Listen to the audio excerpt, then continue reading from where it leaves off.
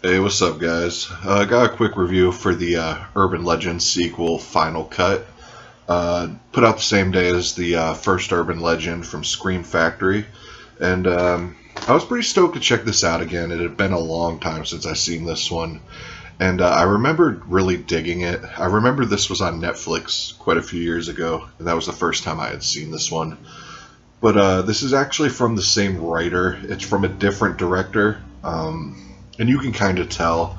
It, it doesn't really have the same feel as the first urban legend. It just has a really different vibe to it. Because uh, this one essentially it takes place in a film school and it gets really meta kind of like how scream does. Because um, there's a lot of when you see you'll know what i mean but there's a lot of in kind of things with the uh, film school that involve with the kills and stuff and it kind of all just kind of blends together and when you see it, you'll know what I'm talking about. It's just really meta. But um, yeah, these people are making a film at a film school, and uh, people, all these actors and uh, people involved with this film are getting picked off one by one, and uh, some of them are kind of. It's like they're they're make it what. The way it's meta, it's kind of hard to explain this. It's really kind of confusing, to be honest. But they're making a movie about a slasher killing people based on urban legends. So they're kind of like making the first movie, but then people on set are dying, but they're not really dying in urban legend ways. So it's, it's kind of weird. Like, there's just people are getting killed in normal ways that have nothing to do with urban legends. So there's that. And, um, so it, it kind of makes it lesser of an entertaining movie to me. I still really do like the movie, just the characters to me aren't as likable.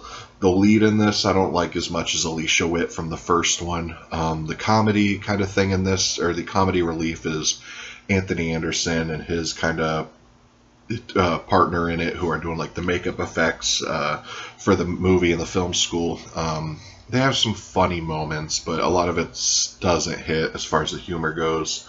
Um, and then, uh, what the heck's her name, real quick? Um,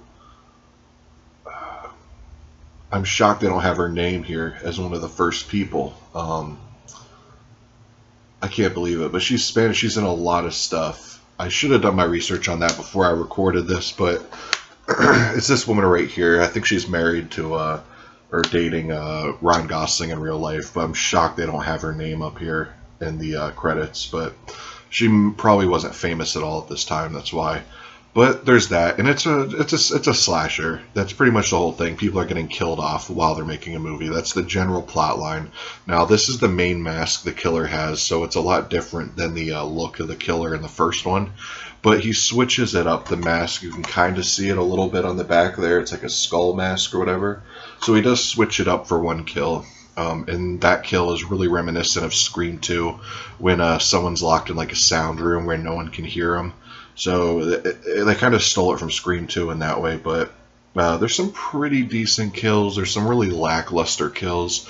There's a big showdown at the end that takes place at this like theme park that's kind of cool. Um, but overall, it's not as enjoyable as the first, but it is a worthy sequel, I guess. It's just not as good. If this like goes below 20, like 16 bucks, I'd say I would recommend picking it up, but I would never recommend paying more than 20 for it. Um, the special features, um, it has a 20 minute segment continuation of the documentary from the first one, where it's just the direct new director and some of the cast talking about this one.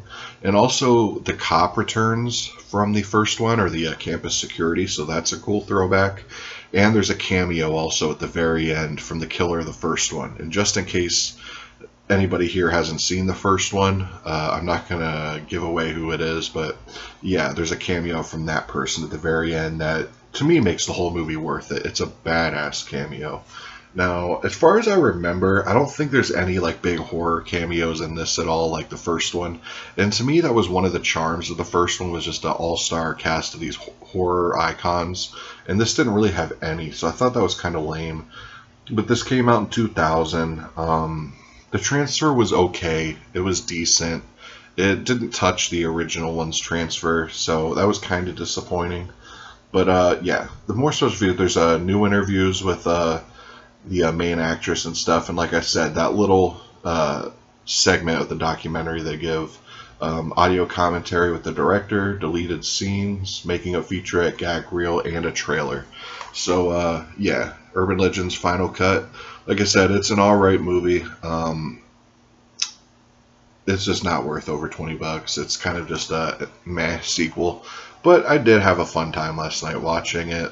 Um, and that's all I could really say about it. Urban Legends, the final cut. Anyways, guys, see y'all tomorrow. Peace.